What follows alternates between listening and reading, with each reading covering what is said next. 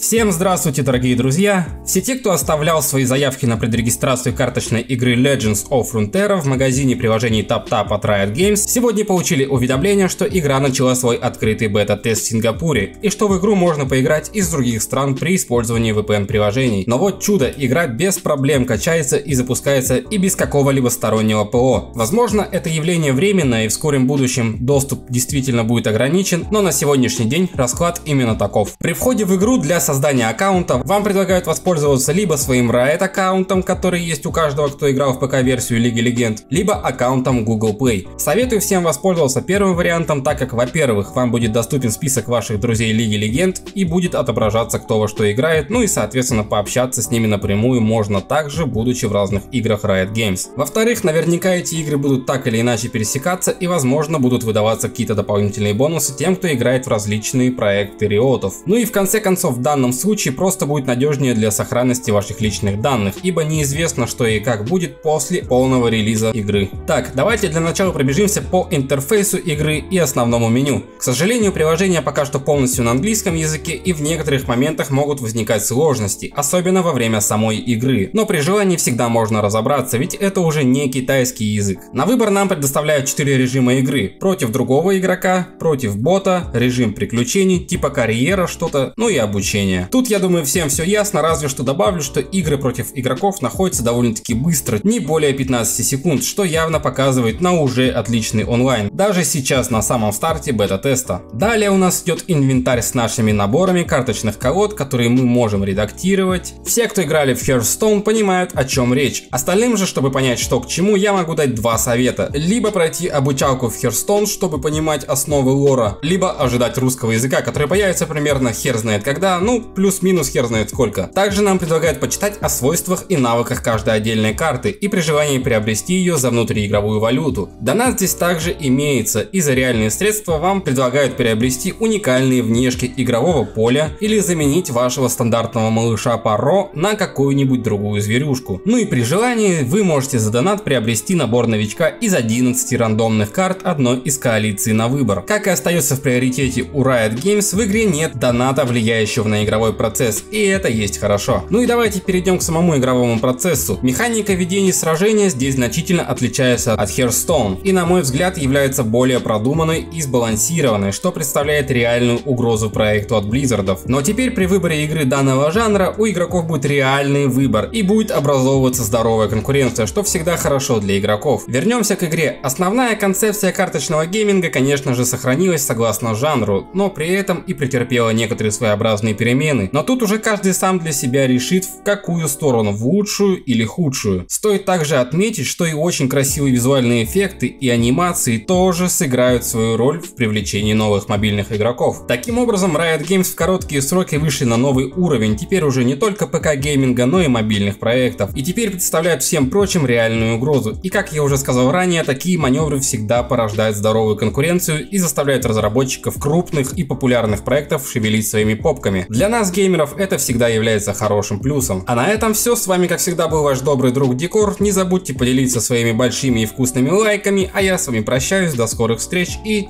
пока-пока.